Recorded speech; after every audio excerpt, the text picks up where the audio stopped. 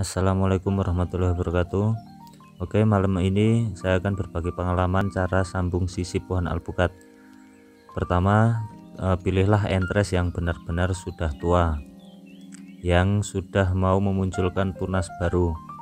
Ini eh, di sela-sela tangkai daun terlihat tunas-tunas yang sudah tua dan sudah akan memunculkan tunas baru. Bisa kita lihat semua Oke langsung saja.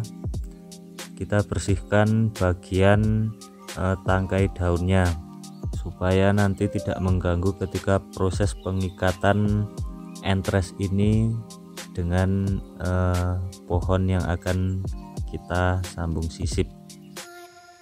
Dan sangat disarankan untuk eh, berhati-hati ketika kita membersihkan tangkai daunnya supaya tidak mengenai bakal tunas Oke.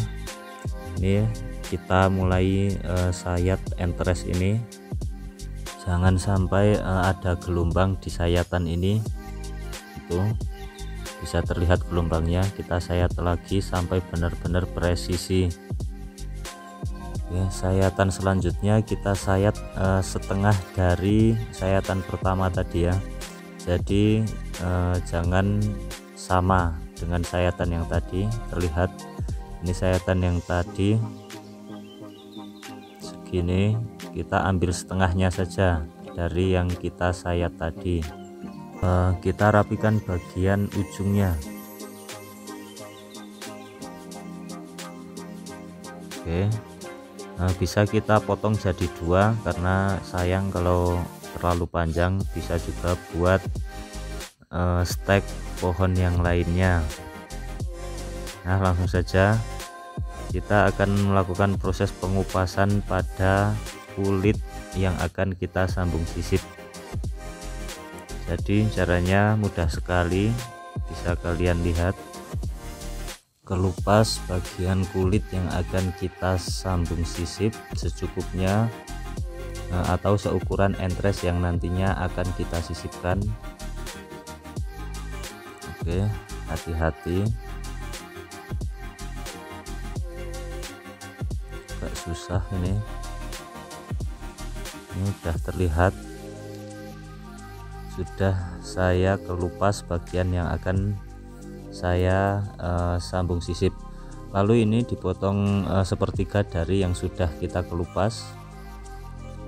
Ini segini saja. Ini sudah terlihat sepertiga dari yang sudah dikelupas lalu kita tempelkan entres yang tadi sudah kita sayat. Jangan sampai posisinya terbalik. Oke sudah menempel. Tinggal proses pengikatan saja. Oke langsung saja. Uh, saya ikat menggunakan plastik PE02 atau uh, bisa kalian ikat juga dengan plastik uh, lilin itu ya plastik lilin yang dibelah bisa juga buat pengikatan. Yang penting jangan sampai ada celah atau lubang. Nah, tujuannya agar air tidak masuk ke dalam area entres ini ya. Karena kalau sampai ada air yang masuk ke dalam area entres ini eh, dan mengenai area kulit yang sudah eh, kita kelupas atau mengenai area sayatan uh, entres kita tadi biasanya akan membusuk. Jadi jangan sampai ada air yang masuk ke dalam area uh, entres ini. Usahakan ikatannya serapat mungkin. Dan untuk pengikatan bagian uh, yang disambung sisip usahakan sekuat mungkin. Eh, bisa diperhatikan pengikatan khusus area sambung sisip. Ini saya benar-benar ikat dengan kuat.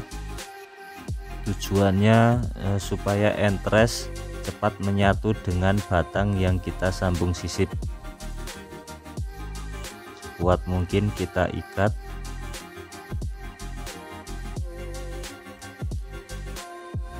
Dan eh, kalau sudah selesai langsung kita kunci kita potong plastiknya. Oke sudah selesai proses sambung sisip. Nah sudah terlihat. Dan ini hasil sambung sisip saya di pohon yang sama e, namun di batang yang berbeda ya. Ini sudah dua minggu saya dari sambung sisip. Sebenarnya ini sudah eh, bisa dibuka ya karena ini sudah mulai memunculkan tunas-tunas baru. Tapi saya akan tunggu satu minggu lagi supaya benar-benar kuat. Ini eh, dari satu pohon empat batang sudah saya sambung sisip semua. Semuanya dengan jenis yang sama alpukat kendil. Dan ini saya juga menambahkan agar bantu pada batang ya, terlihat ini sudah menyatu cuman belum saya buka. Oke cukup sekian video dari saya. Semoga bermanfaat. Assalamualaikum warahmatullahi wabarakatuh